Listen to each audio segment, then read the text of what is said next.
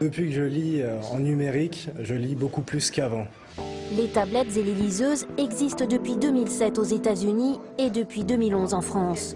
En seulement deux ans, imitant les poids lourds du net, tous les acteurs de l'édition s'y sont mis.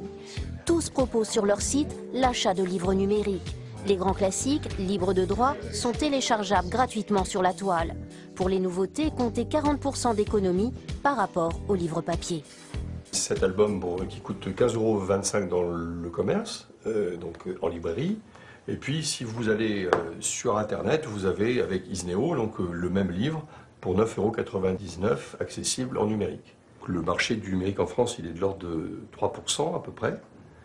Mais il y a quand même 126 000 œuvres, et ça a augmenté 30% en 2013, qui sont disponibles en numérique.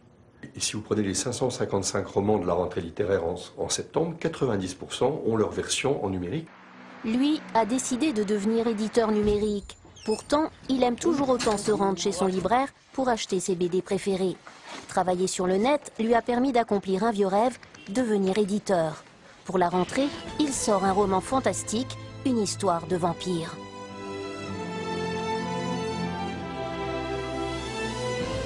on n'a pas les frais de transport, on n'a pas les frais de stock. Donc ça va nous permettre effectivement, à côté d'auteurs plus reconnus, de pouvoir prendre des risques sur des auteurs moins connus, plus jeunes. Un lecteur devenu éditeur numérique, mais qu'en pense son libraire?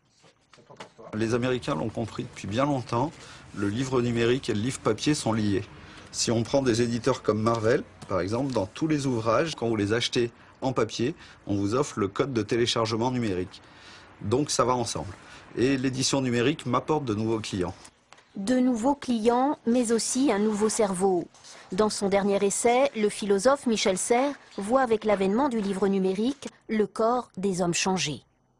Euh, il y a des neurones de la lecture. Les sciences cognitives ont perçu et bien défini les neurones qui sont concernés par la lecture. Eh bien, on pense maintenant que ce ne sont plus les mêmes neurones qui sont concernés lorsqu'on lit un livre et lorsqu'on lit euh, l'écran de son ordinateur. À la médiathèque d'Aulnay-sous-Bois, en région parisienne, 20 liseuses sont actuellement en libre accès. Les bibliothécaires accompagnent les lecteurs dans l'apprentissage de ce nouvel outil. Alors, sont-ils prêts à jeter leurs vieux livres?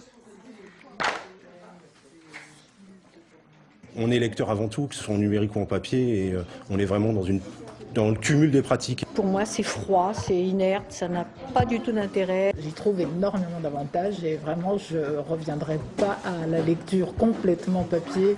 En France, 500 000 œuvres du XXe siècle ont disparu du marché. Grâce aux livres numériques, les éditeurs ont décidé de sauver ces textes. Dès 2014, 60 000 titres seront sortis de l'oubli.